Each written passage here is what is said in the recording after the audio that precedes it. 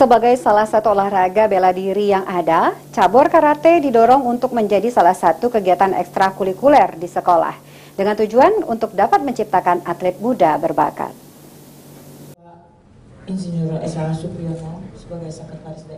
Untuk memasyarakatkan dan mengenalkan cabur karate ke kalangan generasi muda, khususnya pelajar, karate akan didorong menjadi salah satu kegiatan ekstrakurikuler di sekolah.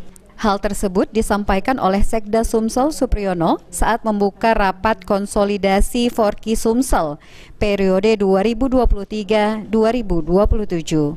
Menurut Supriyono, pemerintah akan mendukung penuh Forki Sumsel untuk memajukan karate. Atlet eh, seharusnya KONI harus bisa berbicara dengan di, di, dinas pendidikan karena dia yang banyak orang anak-anak yang bisa dijadikan atlet jadi tidak tidak melihat generasi yang non formal saja, tapi generasi yang formal harus bisa juga menjadi ladang untuk mereka bisa jadikan pembibitan. Karena di sekolah lebih terkoordinasi dengan baik.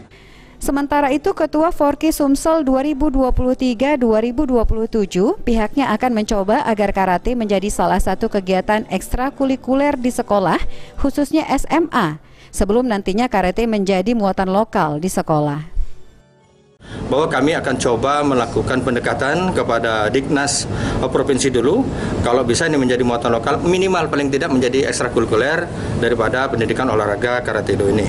Nah, kemudian selanjutnya mungkin baru ke eh, SMP bahkan sekolah-sekolah swasta lainnya di uh, Ke depan Forky Sumsel akan menggelar sejumlah kejuaraan karate mulai dari tingkat daerah hingga nasional.